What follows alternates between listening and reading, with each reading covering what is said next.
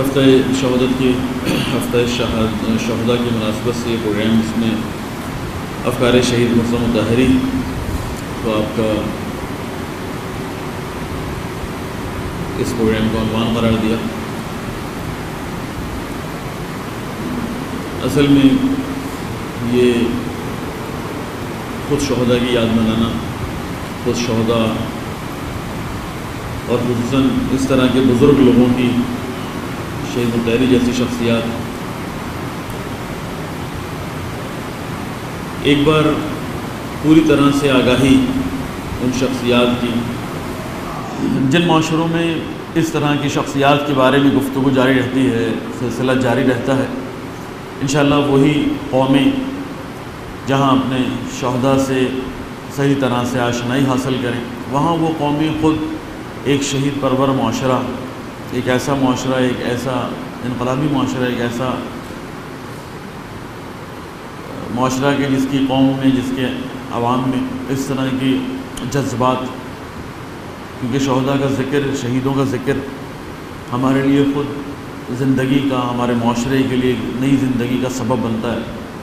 ہمیں انشاءاللہ نوجوانوں کی ان کوششوں کو سراہنا چاہیے، اپریشیٹ کرنا چاہیے۔ اور انشاءاللہ ان کا ساتھ دینا چاہیے۔ جس موضوع کو یہاں میرے لیے شہید مرزا متحری کے انشاءاللہ اکثر لوگ آگاہ ہیں، ایران، انقلاب اسلامی ایران، چند بڑے شہدا کی شہادت یا ان کے خون یا ان کے افکار، ان کے نظریات کا نتیجہ ہے۔ اس میں انقلاب سے پہلے سیونٹی نائن میں آنے والے انقلاب سے پہلے، پھر خود انقلاب آنے کے بعد، ابتدائی ایک دو سال، اور پھر جب اس پر جنگ مسلط ہوتی ہے، تسلسل کے ساتھ ایران نے اس انقلاب اسلامی نے بہت سارے شہدا اللہ کی راہ میں پیش کیے۔ اگر ہم ترتیب کے اعتبار سے بڑے شہدا کو دیکھنا شروع کریں، ایران کے بڑے شہدا تو شاید شہید مرزا متحری پہلے نمبر پر آئیں گے۔ کہ جو بہت بڑی قربانی انقلاب کے بعد دی گئی ہے۔ انقلاب سے پہلے بھی چند مشتحدین کی سطح کے لوگ شہید ہوئے، لیکن انقلاب کے بعد جبکہ یہ عجیب سی بات ہے کہ انقلاب آ چکا ہے، اب ملک میں آپ کی حکومت ہے۔ اب ہر چیز آپ کے ہاتھ میں ہے، حکومت آپ بنا رہے ہیں، فوج آپ کے پاس ہے، پولیس آپ کے ساتھ ایجنسیز آپ کے ساتھ ہو گئی ہیں اور پھر شہید ہو رہے ہیں۔ تو بات یہ ہے کہ انقلاب کا پہلا سال سیونٹی نائن سے پتہ ہے آپ کو گیارہ فروری سیونٹی نائن انقلاب ہے، سے لے کر جب تک جنگ مسلط نہیں ہوئی، جنگ مسلط ہوئی ہے تقریباً سوا سال کے بعد، ڈیڑھ سال کے بعد جو عراق نے ایران پر جنگ مسلط کی۔ اس عرصے میں ایران نے بہت بڑے بڑے شہدا دیے۔ اور اتفاق ہے کہ جن کو آپ کہیں کہ جو لوگ سبب بنے تھے اس انقلاب کو لانے کا، امام خمینی ایک قیادت رہبر کی حیثیت سے تھے۔ ان کے ساتھ پوری ایک ٹیم تھی۔ اس ٹیم کا سب سے امپورٹنٹ آدمی استاد مرزا متحری تھے کہ جن کو انقلاب کے بعد شہادت ملی ہے اور اسی طرح سے ایک ایک کر کے وہ بہت اعلیٰ عرفہ بزرگ شخصیات مرزا متحری کے بعد ڈاکٹر بہشتی کی صورت میں خود اسی طرح شہید راغب جواد یعنی بڑے بڑے لوگ ہیں، علماء کے غیر علماء کے کہ جن کو سب کو شہادتیں انقلاب کے بعد ملتی ہیں۔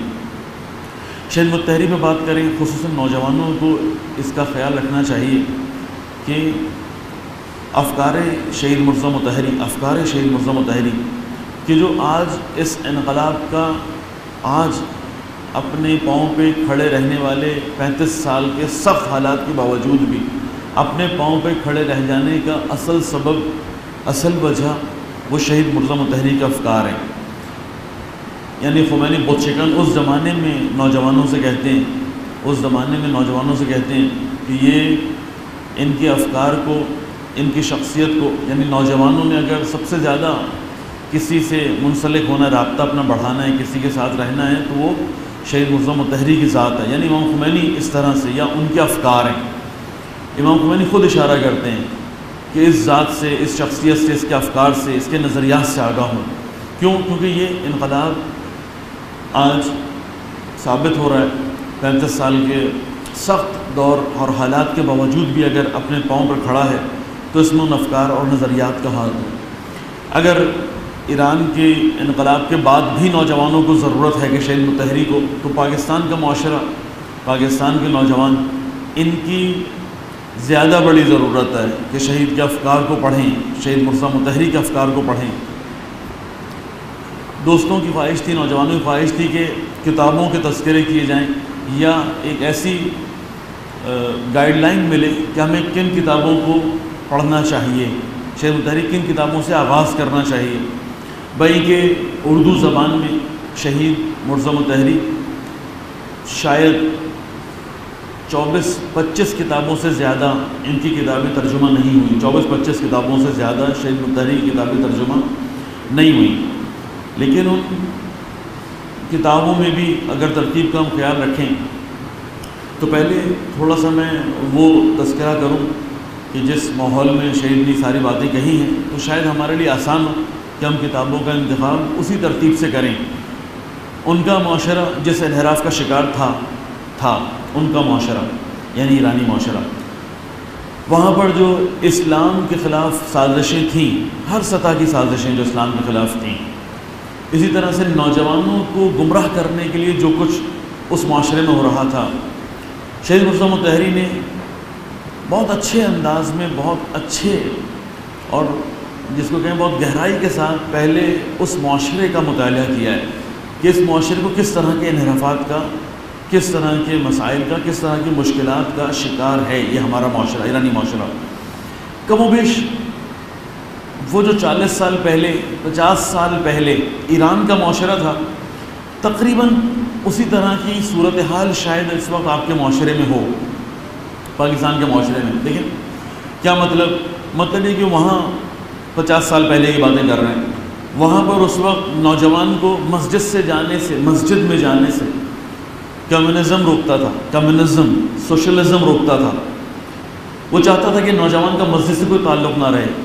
اس کے عقائد میں خدا کا، انبیاء کا، اہل بیت علیہ السلام کا۔ اور نتیجہ آخرت۔ یہ چیزیں ختم ہو جائیں، جس کو آپ اصول دین کہتے ہیں۔ یعنی اس معاشرے میں انسان کو دور رکھا جا رہا ہے، اس معاشرے میں انسان، نوجوان پہ کام ہو رہا ہے۔ اب اس زمانے میں سوشلسٹ یا جن کا آپ کمیونسٹ کہتے ہیں۔ وہ ان کا زمانہ تھا، ان کا دور تھا۔ وہیں کہ خود شاہ امریکی تھا، لیکن نیچے نوجوانوں میں جن افکار کے ذریعے سے لوگوں کو خراب کر رہے تھے، وہ سوشلزم اور کمیونزم تھا۔ ہدف کیا ہے؟ کہ کسی بھی طرح سے اس نوجوان کو روکو، یہ اسلام کے قریب نہ جائے۔ نوجوان کو روکو، یہ مسجد میں نہ جائے۔ اس نوجوان کو روکو، یہ علماء کے قریب نہ جائے۔ اس طرح کے ایک ماحول۔ آج ہم تقریباً صحیح ہے کمیونزم نہیں ہے، صحیح ہے کمیونسٹ یا سوشلسٹ نہیں ہے، لیکن افکار اسی طرح کے ہیں، کام ہو رہا ہے۔ اب ہم اس کو کہہ سکتے ہیں کہ اس میں لسانی تنظیمیں بھی مسلط، آپ کے پاس، آپ کو پتہ ہے، پاکستان کے اندر۔ اور اسی طریقے سے خود ماحول، کالج، یونیورسٹیز کا کچھ اس طرح سے بن رہا ہے کہ نوجوان جو ہے وہ کوشش استعمال کی پوری ہے، معاشرہ اس طرح سے بنایا جا رہا ہے کہ یہ مسجد سے، یہ اسلام سے، یہ امام برگاہ سے، یہ اپنے عقائد سے یہ دور ہو۔ یعنی اعلیٰ تبدیل ہو گیا ہوگا۔ اعلیٰ، جس کو آپ کہیں وسائل، وہ تبدیل ہو گئے ہوں گے۔ لیکن ہدف اسی طرح کا ہے۔ شہید متحری کا زمانہ تھا۔ اس طرح کے افکار تھے۔ بھرپور کام کیا۔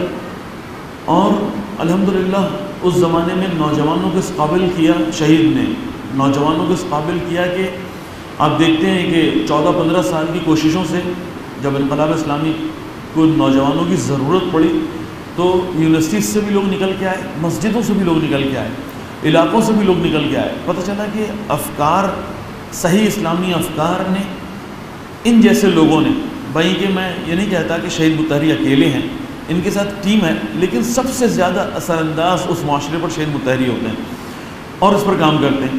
ہمیں آغاز کی کتابوں کو اٹھانا چاہیے۔ شہید متحری کی ابتدائی کتابوں کو اٹھانا چاہیے، جو اس زمانے میں، اس معاشرے میں ہم کہیں کہ چالیس کی دہائی میں لکھی گئیں، پچاس کی دہائی میں لکھی کیا گئی تقاریر ہیں۔ یعنی کیا مطلب؟ مطلب یہ کہ میں سب سے اچھی جو کتاب اس زمانے میں اسی انحرافات کو ختم کرنے کے لیے تقاریر کی صورت میں بعد میں مجموعہ جمع ہو گیا۔ اس میں ایک بحث ہے جو توحید نامی کتاب اس وقت ترجمہ ہو چکی ہے۔ توحید۔ بھائی کہ اس کا اس وقت نام توحید رکھا گیا ہے۔ لیکن وہ اس وقت کیا تھی؟ یعنی وہ اپنے آپ کو انٹلیکچوئل سمجھنے والے یونیورسٹی کے اسٹوڈنٹ زیادہ تر میڈیکل یونیورسٹی کے تھے، انہوں نے شبہات جمع کیے۔ شبہات کس طرح کے؟ یعنی شبہات یہی، اللہ کے وجود پہ، اللہ کی شکل پہ، اللہ کے اثرات پہ۔ اب یہ شیعہ معاشرے کے اندر اس زمانے میں پھیلے ہوئے افکار۔ توحید نامی کتاب جو اس وقت اردو زبان میں ہے یہ اس وقت شہید متحری کا نوجوانوں کو دیا ہوا تحفہ ہے۔ یعنی وہ ہیں تو اسپیچز ہیں تو تقاریر جو مختلف یونیورسٹیز میں کی گئی ہیں۔ لیکن توحید کو جو اس زمانے میں ایک بڑا نشانہ بنایا جا رہا تھا نظریات کو، اس کا جواب دیا گیا۔ اسی طرح سے دوسری کتاب اتفاق ہے کہ وہ بھی کتاب ترجمہ ہو چکی ہے اور وہ نبوت کے موضوع پر ہے۔ یعنی جس وقت یہ کہا جا رہا تھا کہ تم خود اپنی عقل پر ڈپینڈ کرو، جس وقت یہ کہا جا رہا تھا کہ خود تم کافی ہو تمہیں خود سوچنا چاہیے، تمہیں خود سمجھنا چاہیے، تمہیں کیا ضرورت ہے کہ تم کسی کی تقلید کرو؟ تمہیں کیا تقلید کو کہا گیا، اس زمانے میں مذاق اڑایا کرتے تھے کہ تقلید تو بندر کا کام ہے۔ تمہیں کیا ضرورت تم کسی کے پیچھے جاؤ؟ تمہاری اپنی عقل کام کرتی ہے، تمہاری اپنی عقل کام کرتی ہے، تمہیں تو اس کے ذریعے سے پہنچ جانا چاہیے۔ لیکن اصل میں نشانہ بنا رہے تھے نبوت کو۔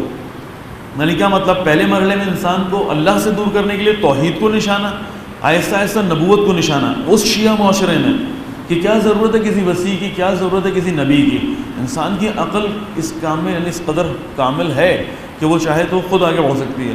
تو اس زمانے میں اتفاق سے خود نبوت کے موضوع پر لیکچرز دیے جو آج موجود ہیں اس معاشرے میں۔ اردو زبان میں آپ کے پاس ترجمہ موجود ہے۔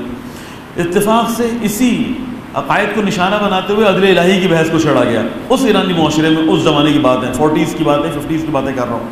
عدل الہی کو چھڑا گیا۔ کیا لے رہے تھے؟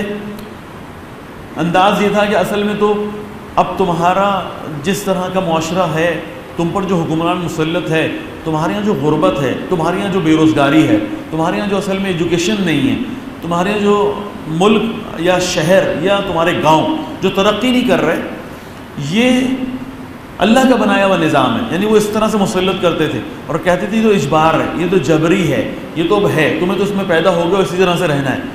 یعنی بہت سوچ سمجھ کے نوجوانوں کو ان کے عقائد سے دور اور ان کے عقائد کے خلاف عمل کرنے کے لیے پہلے توحید کو، پھر آہستہ آہستہ نبوت کو اور پھر آہستہ آہستہ عدل الہی کو، خود عدل الہی کو نشانہ بنایا گیا۔ اور اتفاق سے شہید متحری کی تیسری بڑی کتاب جو اس زمانے میں اس وقت آپ کے پاس ترجمہ ہو کے آئی ہوئی وہ عدل الہی ہے۔ بڑے بڑے سوالوں کے جوابات آپ کو اس میں مل جائیں گے۔ خوب، اس کے بعد پھر خود اہل بیت علیہ السلام کی شخصیت کو نشانہ بنایا گیا۔ اس معاشرے میں۔ تو شہید نے پھر شخصیات پر کتابیں لکھی، جس میں سب سے اہم کتاب انسان کامل ہے، جو آپ کے یہاں اردو زبان میں موجود ہے۔ کہ آپ اس کو اٹھا کے دیکھیں، مولا کائنات کو کس طرح سے آئیڈیل کی صورت میں شہید نے پیش کیا ہر زمانے کے اعتبار سے۔ یعنی علی کی شخصیت آئیڈیل نہیں ہے، صرف اس وقت کہ جب رسول اللہ ہیں۔ اس وقت نہیں کہ جب رسول اللہ کے بعد ان کو پچیس سال خاموشی یا خاموش رہنا پڑا، یا وہ جو بعد میں پانچ سال کی حکومت یا خلافت ملی اور پھر جنگیں ہوئی نہیں، مولا کائنات بئیں کے تین چار بڑے زمانوں کے اعتبار سے تقسیم آپ امام علی علیہ السلام کو کر سکتے ہیں۔ لیکن مولائی کائنات رہتی دنیا تک کے لیے آئیڈیل ہے کس طرح سے آپ کے زمانے میں آئیڈیل بنتے ہیں؟ اس پر بہترین کتاب شہید نے جو الحمدللہ تقریروں کی صورت میں تھی اور آپ نے جمع ہو کے اس کتاب کا ترجمہ ہوا، وہ انسان کامل ہے۔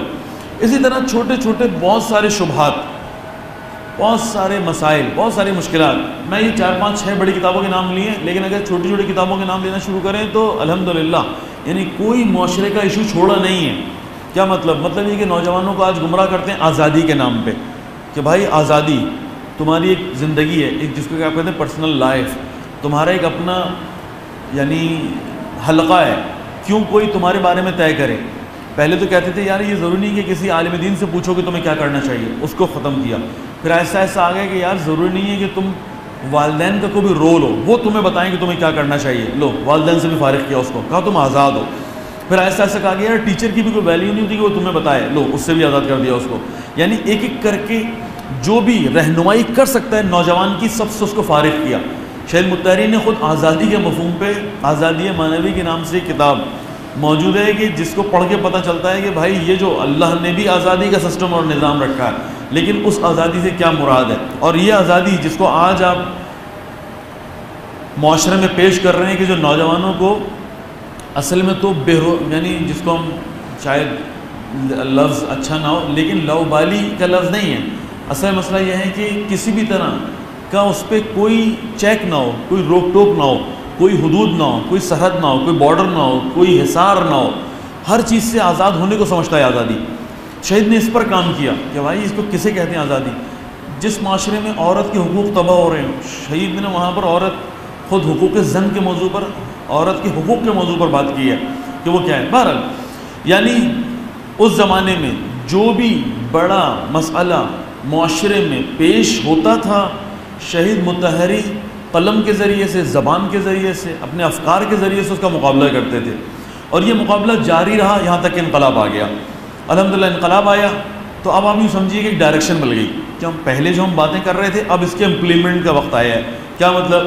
مطلب یہ کہ پہلے معاشرہ سازی یا جو بھی آپ کہیے، انقلاب یا آپ جو کہیے اسلامی معاشرے کی تشکیل کے لیے جو موضوعات تھے، ان پر باتیں ہو رہی تھیں انقلاب سے پہلے۔ اب انقلاب کے بعد موقع ملتا ہے کہ جن افکار کو آپ نے پیش کیا اب اس کو عملی میدان میں اب اس کا نفاذ کا وقت ہے، اب ان کو نافذ کریں۔ انقلاب کا مطلب یہی ہے، آپ کے ہاتھ میں گورنمنٹ آ گئی، اب آپ صرف بات نہیں کریں۔ اب آپ جس نظام کو اچھا سمجھتے ہیں، قرآن سے جس سسٹم کو آپ نکال کے لائیں، اہل بیت علیہ السلام کی سیرت سے جس نتیجے پر آپ پہنچیں، اب آپ اس کے، اب آپ اس کے عملی مرحلے میں داخل ہو جائیں۔ انقلاب یعنی یہ، حکومت یعنی یہ، طاقت یعنی یہ، اب آپ داخل ہو جائیں۔ اور الحمدللہ، شیخ متحری اپنے آپ کو تیار کرتے ہیں اور اگلے مرحلے میں داخل ہو جاتے ہیں۔ وہ بندہ خدا کے جو ابھی تک لگ رہا تھا کہ معاشرے کے ایشوز پر بات کر رہا ہے اور پتہ نہیں انقلاب اسلامی کو جب ضرورت پڑے گی کہ بھائی حکومتی نظام پیش کرو، ضرورت پڑے گی کہ بھائی بڑے بڑے تعلیمی نظام، اقتصادی نظام پیش کرو، اس وقت شہید متحری اور الحمدللہ خدا کا شکر ہے کہ شہید متحری ان، اس ٹیم کا حصہ تھے، اس ٹیم کا حصہ تھے کہ جنہوں نے پھر اس حکومت اسلامی کے جو اسٹرکچر کو ضرورت پڑ رہی تھی کہ قرآن و سیرت سے، لیکن چھوٹا مسئلہ نہیں تھا۔ اس زمانے کا رائج موضوع یہ تھا کہ آپ کو حکومت بنانی ہے تو آپ کو یورپین سے مدد لینی پڑے گی۔ یہ ایک انڈرسٹوڈ موضوع ہے، پتہ ہی آپ کو، آپ کے پاکستان میں بھی۔ جب حکومت کو آئین کی ضرورت پڑی بھٹو صاحب کے زمانے میں، تو تہتر کا آئین، جس کو آپ سمجھتے ہیں، بھٹو نے بنایا ہے۔ بھٹو نے بنایا نہیں ہے بھٹو نے اس کو قومی آیا ہے۔ یعنی اس نے اس کو نیشنلائز کیا ہے یعنی اس نے اس کو پاکستانی کیا ہے۔ لیا تو ہم نے کسی اور ملک سے ہے۔ ہم نے یورپ کے ملک سے لیا ہے وہ آئین۔ سیونٹی تھری سے پہلے اور سیونٹی تھری میں اس کو پاکستانی کر کے پاکستان کے اندر پیش کر دیا۔ اور یہ ملک صاحب آئین ہو گیا۔ پاکستان بنا کب ہے؟ فورٹی سیون میں۔ قرارداد مقاصد چلاتے رہے آپ۔ عرصہ دراز تک سیونٹی تھری تک آپ قرارداد مقاصد چلاتے رہے۔ آپ نے سیونٹی تھری میں ملک کا آئین بنایا ہے۔ اب کیوں ایسا کیوں ہوا؟ کیونکہ مسئلہ یہ تھا کہ بھائی، آپ کو یہ ساری چیزیں باہر سے لینی ہیں۔ ٹھیک ہے، آپ نے حکومت آپ کی پاکستان میں اسلامی کے نام یا اسلام کے نام پر لیے یہاں سب مسلمان رہتے ہیں۔ لیکن یہاں پر وہ برین نہیں تھے۔ وہ برین نہیں تھے کہ جب آپ کہہ رہے ہیں کہ حکومت اسلامی ہے تو اس کا مطلب ہے کہ بھائی قرآن کا کوئی کردار ہونا چاہیے حکومت میں، اس کے آئین میں، اس کی بنیادوں میں۔ ایسی کوئی بات نہیں تھی اس معاشرے میں۔ ایسی کوئی بات نہیں تھی اس معاشرے میں۔ اس کے اندر کہا گیا کہ بھائی ہاں ٹھیک ہے۔ اب یہ کہ حکومت تو بن گئی ہے، اب اس کے آئین کی ضرورت ہے، اب اس کے فوج کو مسلمان کرنا ہے، اب اس کے اداروں کو مسلمان کرنا ہے، تو پھر کیا کریں؟ ہم نے پھر آسانی سے یہی کام کیا کہ ادھر ادھر سے لے کے اس کو پاکستانی کرتے رہے، اس میں آگے پیچھے پیوند لگاتے رہے۔ اور اس کو ہم کہہ رہے ہیں اسلامی۔ بھائی اللہ، آپ کو پتہ ہے، میرا خیال ہے، آپ کو سب سے زیادہ پتہ ہے کہ نہ آپ کا آئین اسلامی تھا نہ آپ کی حکومت اسلامی ہو سکی، نہ آپ کے پارلیمنٹ اسلامی ہو سکی، نہ آپ کا ایجوکیشن سسٹم اسلامی ہو سکا، اور نہ ہی اسی طرح آپ کا عدالتی نظام اسلامی ہو سکا۔ کون سا نظام، کون سا سسٹم اسلامی ہوا؟ کچھ بھی نہیں۔ ہم وہی برطانیہ کی چیزوں کو اردو زبان میں ڈھال کے، پاکستانی بنا کے اور وہی چلا رہے ہیں۔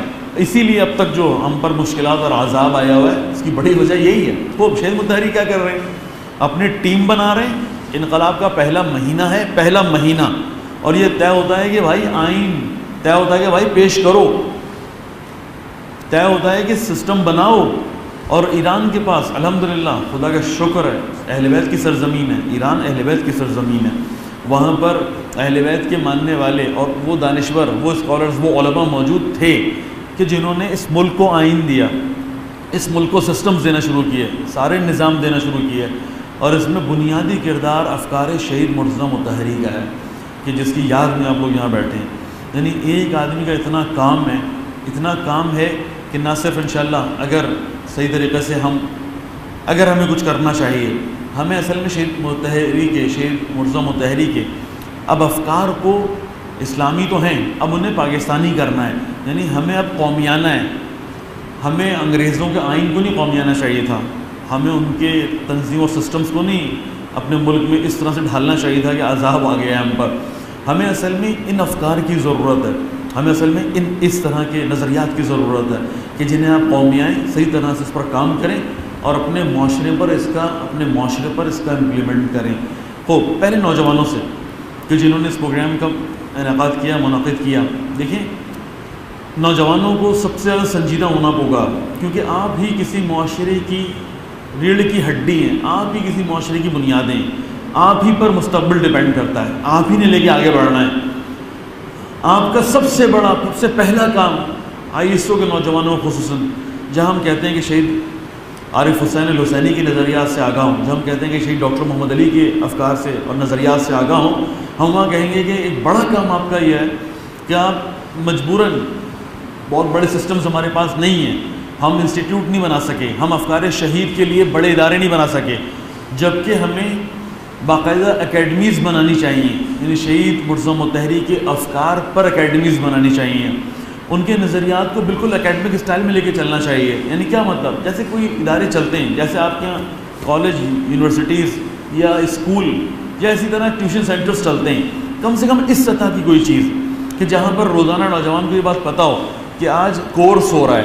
آج یہاں پر توحید کا کورس ہو رہا ہے۔ آج یہاں پر نبوت کی کلاسز ہو رہی ہیں۔ آج یہاں پر عدل الہی کی بحثیں چلیں گی۔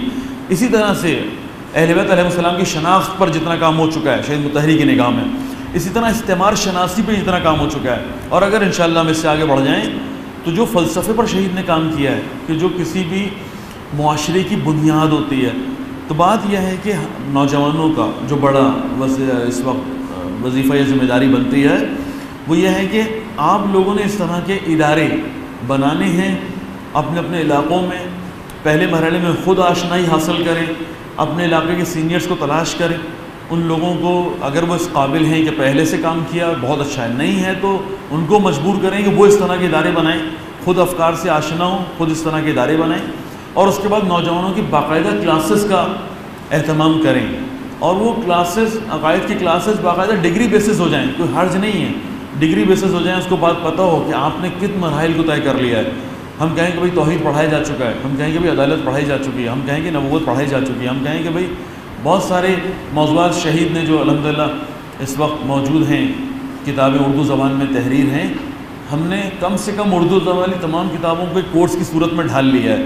اور کئی انشاءاللہ پہلے مرحلے میں سینکڑوں اور پھر کئی ہزاروں نوجوان کو ہم نے ان کورسز سے گزار دیا ہے۔ دیکھیں، میں کہہ رہا ہوں کہ خمینی بت شکن رہبر معظم اس زمانے میں نوجوانوں سے کہہ رہے ہیں، ایرانی معاشرے کے نوجوانوں سے کہہ رہے ہیں کہ آپ کو اپنی مضبوطی کے لیے اور جو انشاءاللہ سبب بنے گی انقلاب کی اور ایران کی مضبوطی، آپ کو شہید متحری کے نظریات اور افکار پر کام کرنا ہے۔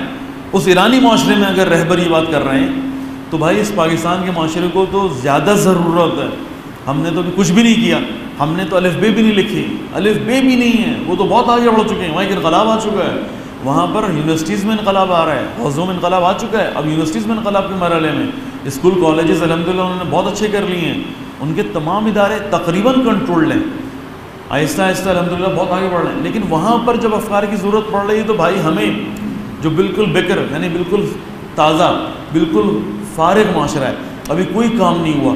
ہمیں زیادہ ضرورت ہے، زیادہ سنجیدہ لینے کی ضرورت ہے، زیادہ محنت کرنے کی ضرورت ہے۔ دیکھیں یہ ایک آدھ گفتگو اس طرح کی، یہ کوئی بہت بڑا نتیجہ نہیں دے گی۔ اس طرح کی ایک گفتگو کوئی بہت بڑا نتیجہ نہیں دے گی۔ لیکن ہم میں سے بہت سارے دوست ثواب کی نیت سے بیٹھے ہیں کہ بھائی چلے شہید کی مجلس ہو رہی ہے، کچھ نہ کچھ ثواب ہمارے اس میں آ جائے گا۔ کچھ نوجوان بیچارے جو اس چکر بیٹھے ہیں کہ پروگرام کامیاب جا رہا ہے ناکام جا رہا ہے یعنی مسلسل ان کے ذہنوں میں یہ بات ہے کہ پتہ نہیں صحیح ہو رہا ہے، غلط ہو رہا ہے، لوگ کم ہیں، لوگ زیادہ ہیں، اس طرح۔ کچھ لوگ ہیں جو بیچارے باہر کھڑے انتظار کر رہے ہیں کہ یار کوئی آئے۔ کسی کو بٹھا کے اندر کہیں جاؤ بھائی جا کے مجمع لگاؤ۔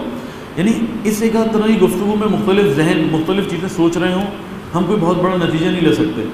صرف ایک توجہ دلانے کی، ایک صرف توجہ دلائی جا رہی ہے کہ بھائی، اس ایک خطاب کا بھی یا اس طرح کی گفتگو کا بھی، اس طرح کے پروگرامس کا بھی اگر کوئی بہت بڑا ہم نتیجہ لینے میں کامیاب ہو جائیں تو وہ یہی ہے کہ ہم متوجہ کرنا چاہ رہے ہیں نوجوانوں کو کہ آپ کو اگر شیعہ معاشرہ انشاءاللہ کہ جو اسلامی معاشرہ اور پھر انشاءاللہ پاکستان کو مضبوط کرنے کی بات کر رہے ہیں، آپ کو اپنی بنیادوں کو بہت مضبوط کرنا ہے۔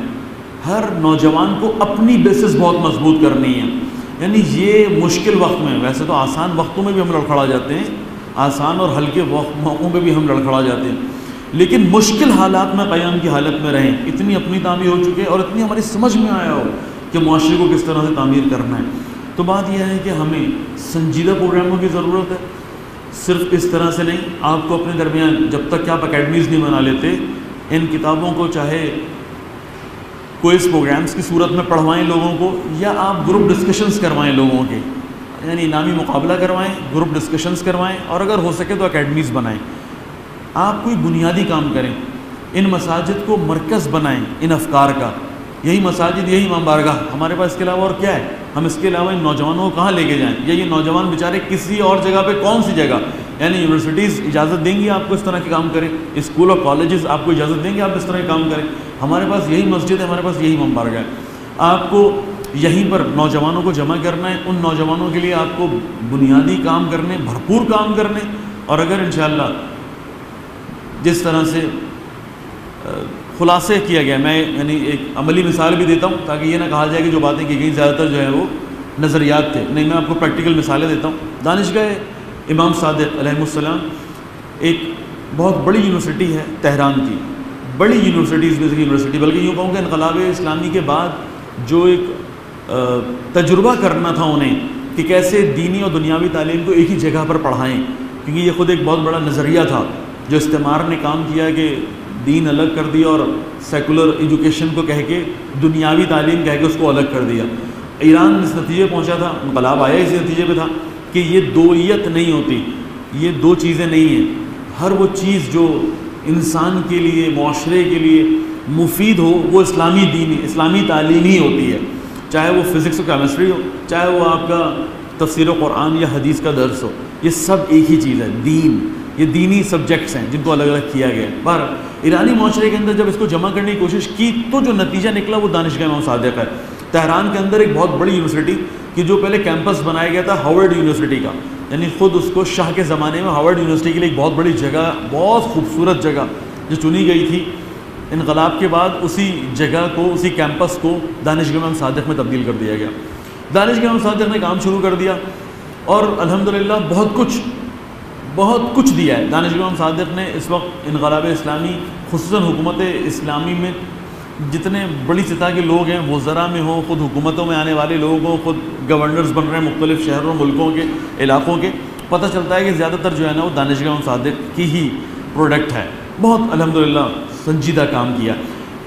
خود اسی یونیورسٹی نے اس کمی کو شدت سے محسوس کیا۔ انہوں نے کہا کہ ہم ایجوکیشن وائز کورس ڈیزائن کر چکے ہیں، ہر چیز پڑھا رہے ہیں۔ جس سے آپ ارل کہتے ہیں، جو رائج ہو گیا ہے کہ بھائی اسلام پڑھانے سے مطلب کیا ہے یعنی آپ تاریخ پڑھائیں۔ اسلام پڑھانے سے مطلب کیا یعنی آپ سیرت پڑھائیں۔ اسلام پڑھانے سے مطلب کیا یعنی آپ تفسیر پڑھائیں۔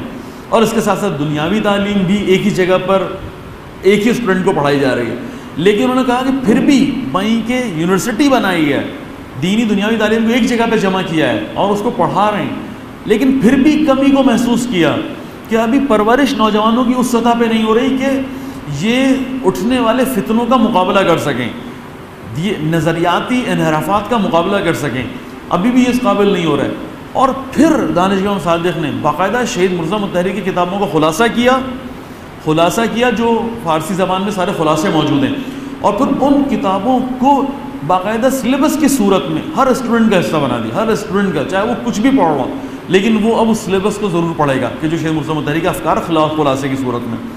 تو دیکھیے، جب ایران کے انقلابی معاشرے میں انقلاب کے بعد ہزاروں لاکھوں قربانیوں کے باوجود بھی اگر وہاں پر اس بات کی ضرورت محسوس ہوتی ہے کہ باقاعدہ نوجوانوں کی تربیت کے لیے آپ کو اگلے مرحلے میں داخل ہونا ہے، کہاں بائی کا بائیں کے بائیں کے آپ نے یونیورسٹیز بنا لی، یہ بات ٹھیک ہے کہ آپ نے بڑے بڑے ادارے بنا لی یہ بات ٹھیک ہے کہ حوضہ انقلابی ہو گیا۔ یہ بات ٹھیک ہے کہ علماء مساجد اس میں بہت اچھی اچھی شخصیات ہیں۔ بائیں کی یونیورسٹیز میں بہت اچھے اسٹوڈنٹ نکل رہے ہیں۔ یہ بات ٹھیک ہے، لیکن اس کے باوجود بھی ہمیں شہید مرزا متحدی کے افکار کی ضرورت ہے۔ یعنی خود دانش امام صادق جو سب سے انٹلیکچوئل ادارہ ہو ایران کا، وہ اس نتیجے پر پہنچے۔ تو ہمارے نوجوانوں کو اس بات کو سمجھنا چاہیے کہ بھائی ہمارے یہاں کا جو انحراف ہے، وہ اس کا کئی گنا زیادہ ہے۔ جو ہمارے یہاں کا انحراف ہے، وہ اس سے کئی گنا زیادہ ہے۔ جو ہمارے یہاں منحرف کرنے کے لیے کوشش ہو رہی ہیں، وہ کہیں زیادہ ہیں۔ اور اس معاشرے میں کہ جہاں پر ہم مکس زندگیاں گزار رہے ہیں، مکس افکار و نظریات کے ساتھ رہ رہے ہیں، جہاں اپنے اپنے آپ کو اپنے صحیح راستے پر باقی رکھنا بہت مشکل کام ہے۔ اس معاشرے کے اندر شہید مرزا متحری کی ہمیں، ہمیشہ سے کہیں زیادہ ضرورت ہے۔ ہمیشہ سے کہیں زیادہ ضرورت ہے۔ تو انشاءاللہ خدا ہمیں بھی توفیق دے۔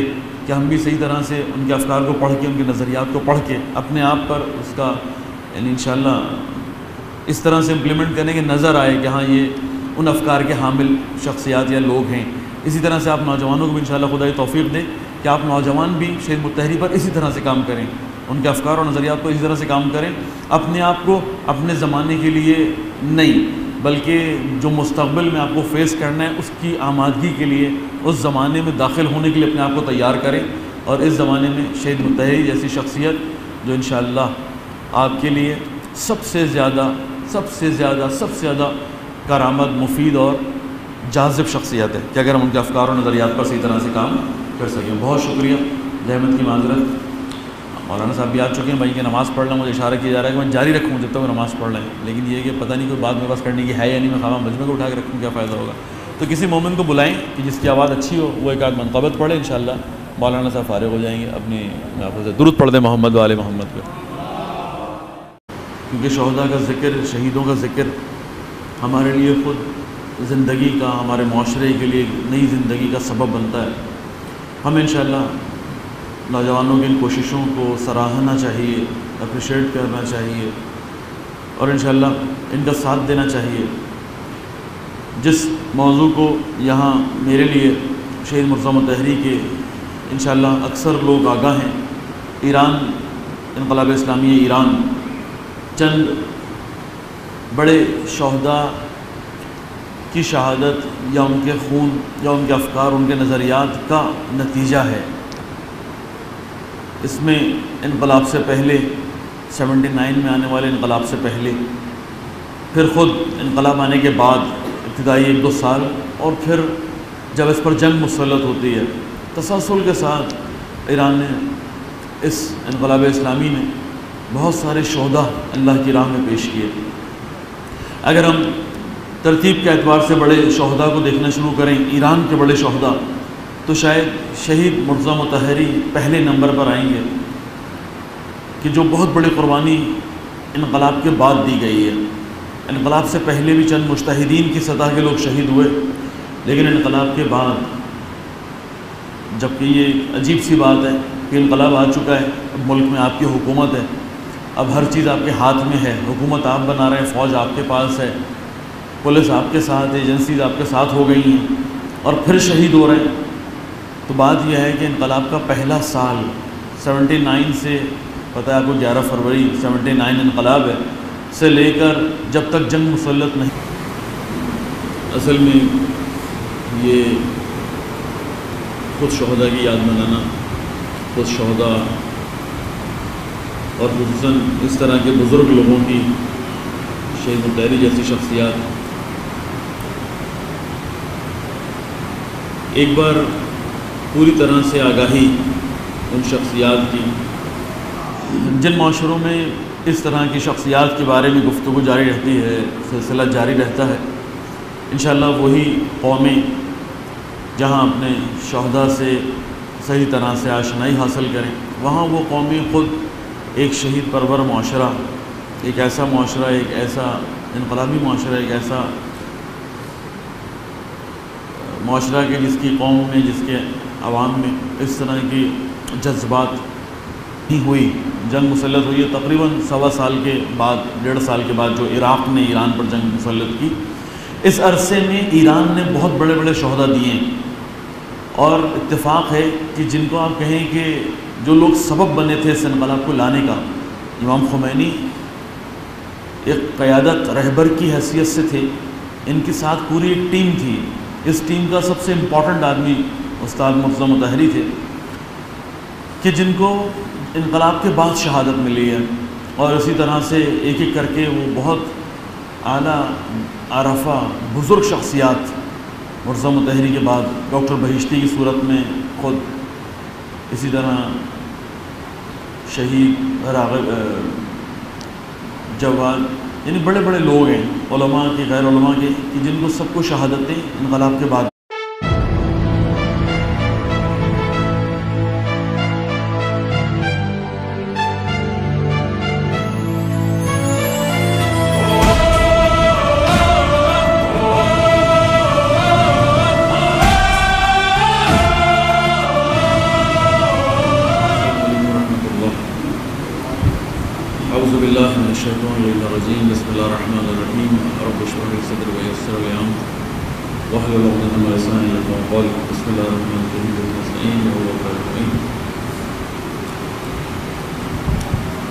ہفتہ شہادت کی ہفتہ شہاد شہدا کی مناسبت سے یہ پروگرام جس میں افکار شہید مسلم مطہری تو آپ کا